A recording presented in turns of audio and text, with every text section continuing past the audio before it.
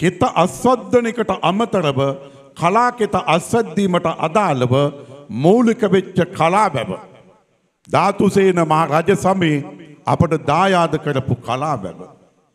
එමනම් මේ කලාබැබ ඉදිකරනකොට නිදහං කරපු නිධානේ.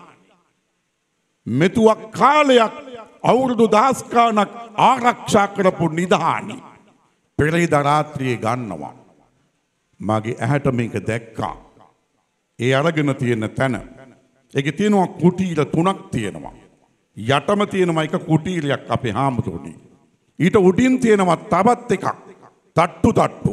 ඊට උඩින් තවත් එකක් තියෙනවා. තට්ටු තුනයි. ඊට පස්සේ උඩම ගත්තාම උඩම එක තට්ටුවක්. ඒක තමයි කඩලා තියෙන්නේ. කොටීට හතරක් විදිහට තමයි මේක තියෙන්නේ. මේ කොටීට හත් තුනේම මේකේ තිබිලා තියෙනවා යම් දේවල්. ඒව තමයි අරන් තියෙන්නේ. කලාබැවේ මේ නිධානයේ තියෙන ස්ථානය අධි ආරක්ෂිත කලාපයක්. මේක වනජීවයකට අයිති වනජීවි නීතිය මෙතන ක්‍රියාත්මකයි. මේක පුරාවිද්‍යාවට අයිති පුරාවස්තු තියෙන නිසා. පුරාවිද්‍යා නීතියට මේක යටත්. මාවලියට අයිති මාවිලට අදාළ නීතියට මේක යටත්. රටේ පවතින සිවිල් නීතියට කොහොමත් යටත්. කිසිම කෙනෙකුට ගොබියකුට මේ පලාතට යන්න බෑ.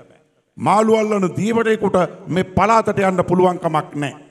මහරෑ ලයිට් ගහගෙන යන්ත්‍ර සූත්‍ර ගෙනල්ල ගල් විතල එතකොට මේ නිධානේ ගණ්ඩ පුළුවන්ද කිරිබණ්ඩයියට මේ නිධාන ගණ්ඩ පුළුවන්ද පියදාසයියට ගණ්ඩ බෑ ඒමනම් මේක ගත්තේ කවුද. රාජ්‍ය අනුග්‍රහයි සහිතුව සිද්ධ වෙච්ච වැඩක් මේක.